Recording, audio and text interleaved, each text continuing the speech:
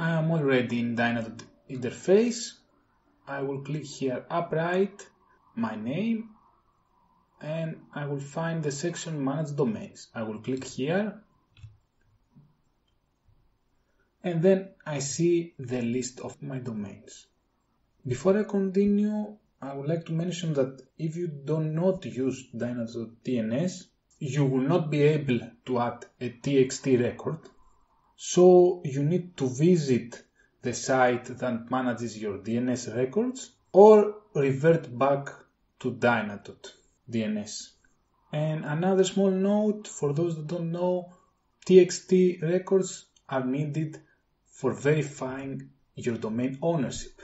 For my example, I will use the TXT record that uh, Google Search Console will provide me. Okay, let's get first the TXT record.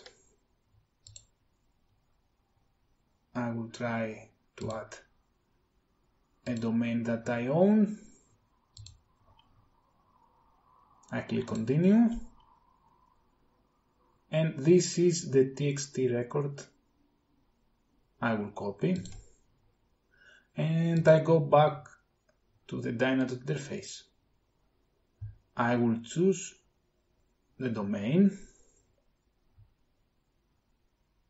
here on the left and I will choose the bulk action DNS settings.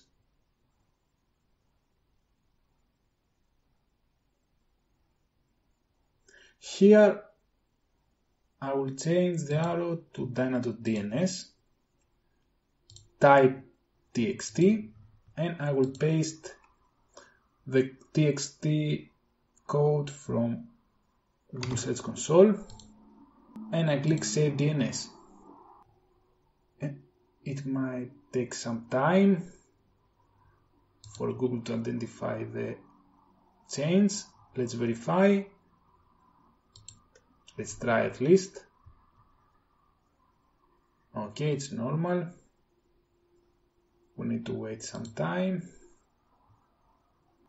As you see here, I have already pasted the txt record correctly, but it just takes some time.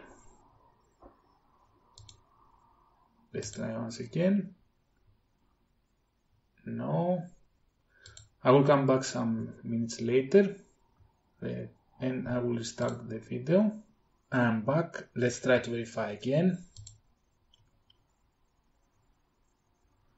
Okay, after 20 minutes, it seems that the verification works. So don't forget to like this video and subscribe to the channel. Bye!